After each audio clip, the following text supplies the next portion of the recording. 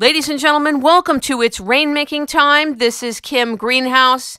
It's a great honor to have Nicholas Gonzalez, MD, the author of One Man Alone An Investigation of Nutrition, Cancer, and William Donald Kelley, and The Trophoblast and the Origins of Cancer One Solution to the Medical Enigma of Our Time. He has studied and met William Donald Kelley, and he was taught and guided by Dr. Robert Good, who was an expert in the area of the thymus gland. It was Dr. Gonzalez's teacher. And Dr. Gonzalez is also known for learning bone marrow transplant. He's a conventional doctor. He is out of New York and he is helping tons of people along with his associate, Dr. Linda Isaacs. Ladies and gentlemen, without further ado, Please welcome Dr. Nicholas Gonzalez to its rainmaking time. Good morning. Good morning. Thank you so much for having me. It's always great to have the opportunity to talk about our work. I want you to share with the audience the context in which proteolytic pancreatic enzymes, what this whole frame of reference is about, and if you could also explain the metabolic typing or this thing called metabolic efficiency, out of which the sympathetic, the parasympathetic, and the balanced dominance that whole system arises so that we have a frame of reference to receive you?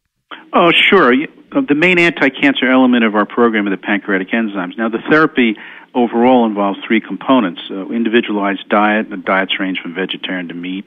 Uh, we have 10 basic diets, 90 variations, aggressive supplement protocols, but the main anti cancer element are the large doses of pancreatic enzymes. The third component would be detoxification. Now, it isn't my idea or even Dr. Kelley's idea that pancreatic enzymes have an anti-cancer effect. I mean, in orthodox physiology, they've been known since 1858 to have a digestive function. It was the very esteemed Scottish scientist, well, he was English by birth but taught at the University of Edinburgh, John Beard, who in uh, 1902 first proposed that the pancreatic enzymes have an anti-cancer effect.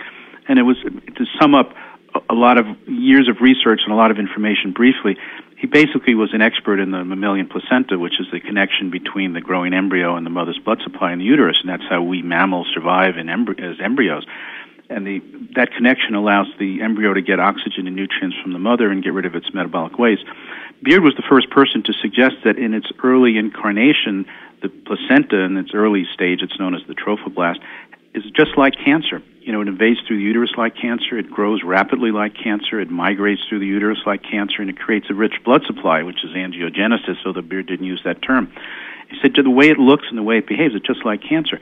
The difference is between the placenta and cancer is that at some point the placenta changes from this aggressive, invading, malignant-like tissue that invades through the uterus to a very calm, mature placenta that stops invading, stops migrating, stops producing a blood supply, and becomes a uh, a non-invasive organ. And he spent years trying to figure out what was the signal that caused this extraordinary transformation from the early invasive cancer-like placenta into the mature organ. And he realized the very day the embryonic pancreas began to produce enzyme was the very day the placenta had this change. And there was no other correlation it could make with any other system, the immune system, the endocrine system, any of that.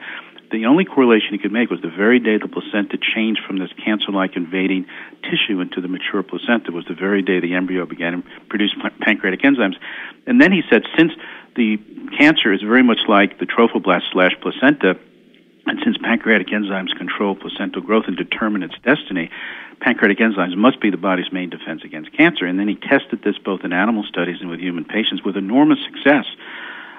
Unfortunately, there's very promising non-toxic therapy that was. You know, there are papers in the from the main mainstream journals of that day, the Journal of the American Medical Association, New England Journal, British Medical Journal, reporting case studies of patients treated with enzymes under Beard's direction who had total regression of advanced disease. And even though this is 100 years ago, pathologists knew what cancer was. It wasn't like it was a mystery. They, they knew it. Pathologists were very sophisticated about what cancer was. And these people were properly diagnosed and had regression and lived normal lives.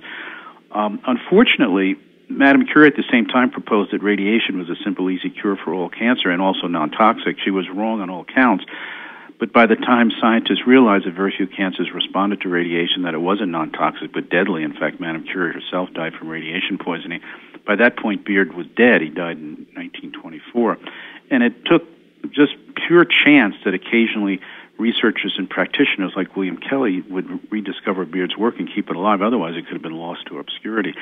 So Kelley, during the 1960s, re- revitalized Beard's approach and applied it and began applying it in patients himself with great success.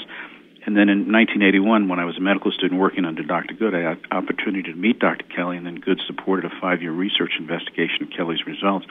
So that's basically the context. It really develops an interesting story because it developed 100 years ago. It was famed embryologist Dr. Beard. Now, Beard was actually nominated for the Nobel Prize in 1906, not for his cancer work, which was extremely controversial, but because of his embryology research, which is still quoted in the mainstream textbooks today. He didn't get it because he was already so controversial. So it comes out of very eminent scientific pedigree. And it took people on the fringe, however, to keep it alive. And of course, we've kept it alive and we're trying to get the word out there to the world. And that's why shows like this are so important. So the main context in terms of pancreatic enzymes was the work of this uh, kind of ivory tower embryologist, John Beard, working at the University of Edinburgh. He was a laboratory scientist spending Friday nights in his laboratory trying to figure out the placenta 100 years ago. Now, the second component, which you me- mentioned that you wanted me to discuss, was the concept of metabolic typing, which has become kind of a catchphrase today. And indeed, Dr. Kelley was the person who actually coined that phrase, you know, some 40 years ago. Was the really the person who really brought that into prominence. It was Kelley's thesis, unlike a lot of conventional alternative practitioner, t- practitioners, that different people need different diets, that there isn't just one diet for optimal health. And a lot of alternative practitioners, like Gerson or the macrobiotic people, believe one diet fits all. You know, the Pritikin and Ornish people believe everyone should be a vegetarian, eating no animal products. Or Atkins was the exact opposite. He thought everyone should be on fatty red meat. Uh, the Mediterranean diet proponents say people should be on a balanced diet. You have all these different schools of thought in nutrition, both conventional and alternative nutrition, proposing a different diet for all people, all humans, whatever their size, shape, form, genetics, color, sex, um, ancestry. They should all be on the, this particular diet. Kelley was a lot smarter than that and he, in a sense, helped resolve the enormous conflict that exists in the nutritional world. You know, every time I pick up a nutrition book, it claims it has the answers to what diet and what supplements people should be on, which of course completely contradicts the previous 15 best-selling books. And Kelley realized that each each of these people, Pritikin, Ornish, Atkins, the Mediterranean people, had a part of the puzzle, but only a part and that the human species is very variable. We come out of a lot of ecological niches, you know, from the Arctic Circle of the Eskimos to the Serengeti Plain to the high Andes to Swiss Alps, where there were different food supplies available. And in order to survive, people had to adjust to those food supplies. So there was never one diet for traditional cultures. You know, Weston Price during the 1920s and 30s traveled the world studying traditional cultures that at that time still existed. I mean, traditional cultures really don't exist anymore. Even the Eskimos are watching TV eating Rice Krispies. but in the 1920s and 30s, they still existed. There were these isolated cultures following traditional nutritional practices. And he traveled the world, again, from the Arctic of the Eskimos to the high Andes to the high Swiss Alps to the Aborigines living in Australia and New Zealand to the Serengeti Plain. And he found that traditional peoples followed a variety of different diets and thrived on a variety of different diets. I mean, the Eskimos were on an all meat diet. If you think about it, in the Arctic Circle, there is no growing season. There are no fruits, vegetables, nuts, seeds, and grains. The idea of the Department of Agricultural Food Pyramid is nonsense. If you're Eskimo, they have eight, ten months of winter. All there is is lichen. There's no, there's really no vegetable or plant foods. And they lived on meat. I mean, this, they were studied extensively. Their diet was 100% meat, 80% fat, sorry to those people who think fat is the enemy of mankind. To an Eskimo, was life saving.